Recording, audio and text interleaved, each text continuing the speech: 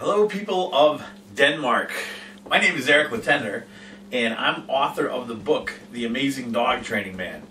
And recently, I received an email from one of your citizens asking me about pit bulls.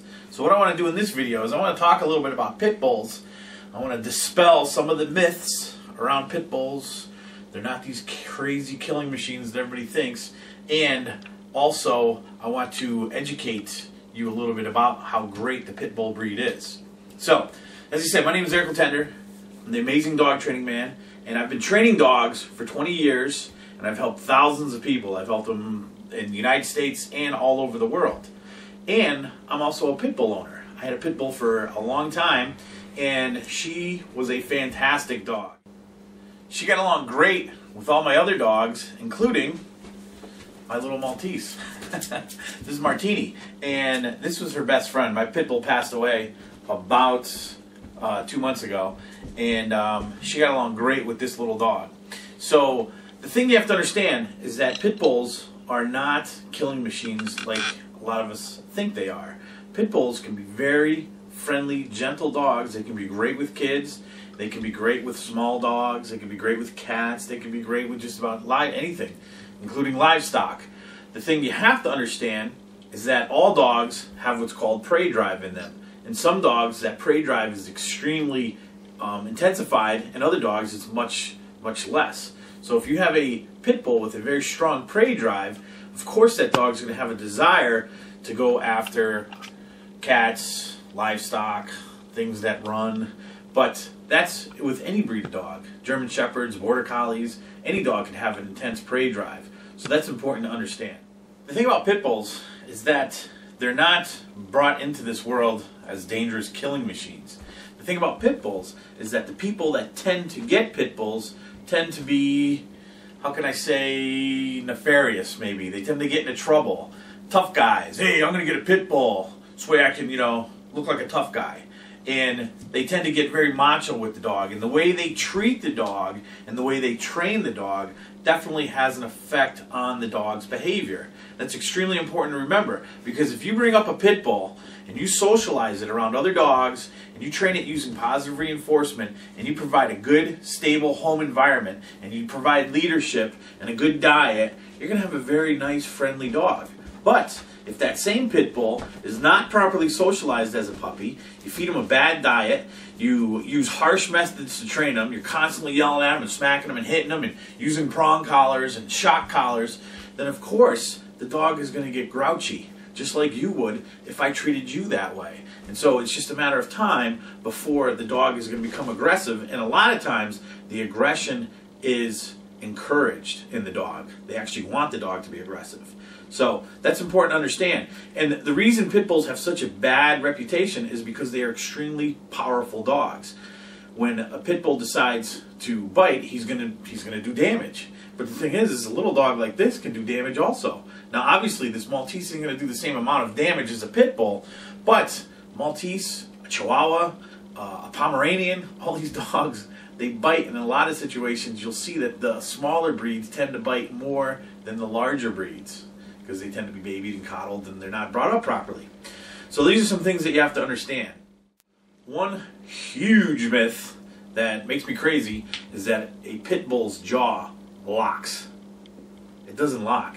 It's just that they have incredibly strong, strong jaws, and that when they decide to latch onto something, they put so much pressure into that bite that they can just, it seems like they're locked on. But the same thing is true with German Shepherds or a Rottweiler or even a little Maltese. If they decide they want to clamp down on something, it's very difficult to get them to release if they're committed to biting. So, one of the things that I always do with pit bulls when I'm training them is I always teach them to release everything that they have in their mouth. From a very, very early age, I teach them to release. I get control over the teeth and jaws at a very, very early age, and I do this in a positive way so the dog doesn't have a desire to latch onto something. But it doesn't lock, they just have very strong teeth and jaws, and that's important to remember. Now, the other thing is when it comes to the dog's body language, big myth that bully breeds don't give any warning, that they're just sitting there and then bang, they bite somebody. That's completely false. A dog will give warning. Every dog will give warning unless, and this is the important point, unless it's been trained out of them. Okay. Now, as I said earlier, t- people that get pit bulls tend to be macho. Hey, we're gonna we're gonna train this dog, and I'm gonna I'm gonna you know I'm gonna kick butt and all this other stuff, and so they tend to use prong collars when they do training. Was, oh, I know. See, um, now if I put this around her neck or a dog's neck or my own neck, I want to be very pleasant, right? Now here's what happens.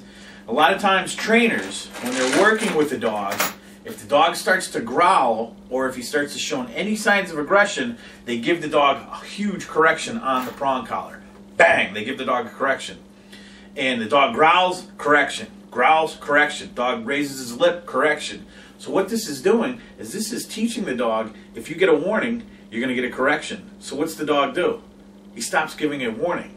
And that's why when it comes to training, we can't rely on harsh, forceful methods we have to use positive reinforcement. We have to teach the dog that you know there's ways to uh, resolve conflicts around other dogs and people without becoming aggressive. Or if they do start to show signs of aggression, we can't just think that we're going to pound it out of them. So that's a huge myth. A pit bull will absolutely raise his teeth, his hackles, his ears. He'll stand up more erect, and he'll definitely give a warning before he bites, unless it's been trained out of him. So if there's a lot of people using prong collars and shock collars to train, that's why you're having problems, and that's why you're not getting any kind of warning before the dog bites. So a lot of times I get the question, well, what are pits good for? and uh, that's that's kind of silly because what's a Maltese good for? What's a German Shepherd good for? Dogs are our companions. We like to hang out with them. We bring them in the house and they become part of the family. Okay, but a pit is a very versatile dog. Pits are extremely, extremely intelligent. They learn very fast. They're great for doing agility. If you like doing agility, a pit bull is a great dog for that. They love pulling. Um, pit bulls don't make good watchdogs, believe it or not, because when pit bulls were bred to fight, they were bred to be very friendly to people. Okay, and, and that's important to remember. So they don't make good watchdogs. But as I said, they make great companions because a lot of pit bulls don't have the energy levels the sustained energy levels of like a border collie who just wants to work and work and work and work and work. Pit bulls like to go in short bursts. So a lot of times they make great family pets, they make great house pets, they make good apartment dogs. My pit bull was fantastic. She used to just love hanging out with us. And they make great therapy dogs, believe it or not. I know everybody thinks that they're killers, but they're not. Pit bulls can be great, friendly, very gentle dogs. So, what can we do about the pit bull problem? this is a question that I also get. What can we do? And the thing that we have to do is really we have to start educating people. And we have to pay attention to the people that are getting pit bulls, not the breed itself. Okay? And that's extremely important. We need to educate people on how to um, do proper breeding, how to train the dog, how to treat the dog, how to have it around the house. And as I said, we have to look at where is the dog coming from, the environment that the dog was brought up in, not the actual dog itself. So it's extremely important to remember because the dog is a product of its environment. Okay? I have a German Shepherd, I have a Maltese, I've had Pit Bulls, I've had Great Danes, I've had many different breeds of dogs. And they're a direct result of the environment that they're brought up in. It's as simple as that. It's not the breed, it's the environment. So, I hope this video has helped you out. If you have any questions, you can always email Eric at amazingdogtrainingman.com. Thanks for watching.